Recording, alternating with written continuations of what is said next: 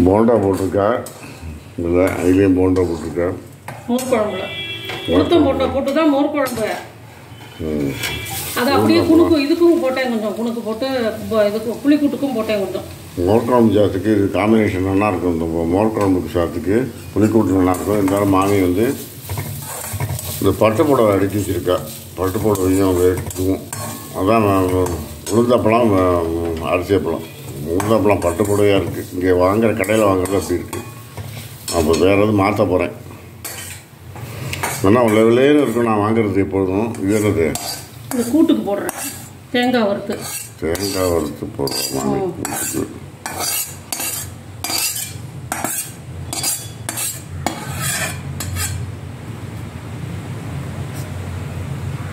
கொஞ்சமாக எண்ணெய் வச்சு அந்த குணுக்கெல்லாம் பொரிச்சேன்.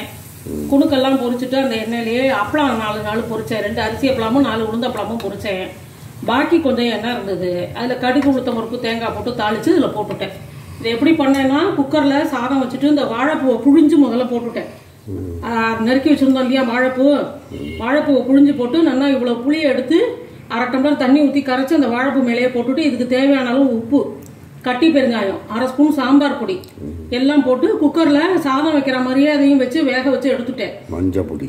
ஆ மஞ்சள் பொடி. இதை போட்டு நல்லா வேக வச்சுட்டு கீழே எடுத்து வச்சு பருப்பு போட்டு நல்லா கொதிக்க வச்சு இது பண்ணி கொதிக்க வச்சு தேங்காய் வறுத்து கொட்டிட்டு குடுக்கு நாள் போட்டிருக்கேன். இது என்னன்னா நிலக்கடலை போட்டிருக்கேன் பாருங்க. நிலக்கடலை வேக வச்சு இதில் போட்டிருக்கேன். சூப்பர். ஆமாம் இது வந்து மோர் குழம்பு?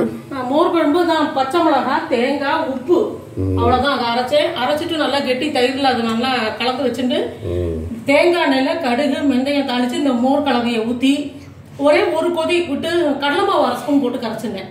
ஒரே ஒரு கொதி விட்டு இறக்கிட்டு அதில் குணுக்கு போட்டுட்டேன். ஏன்னா வெறும் நான் மோர் குழம்பு வைக்கக்கூடாதுன்னு குணுக்கு போட்டிருக்கேன் அதில். இது? இது அரிசி அப்பளம் நாலு. அரிசி அப்பளம் உளுந்தப்பளம். அரிசி அப்பளம் ரெண்டு நாலு. ஓ இது பண்ணியிருக்காங்க மகாணி வச்சு பண்ணியிருக்கேன் ஆமாம் ஸோ இதுதானே இன்னைக்கு இதான் சமையல். ஸோ எல்லாரும் செஞ்சு பாருங்க செஞ்சு பார்த்துட்டு லைக் பண்ணுங்கள் ஷேர் பண்ணுங்கள் சப்ஸ்கிரைப் பண்ணுங்கள் thank you thank you very much bye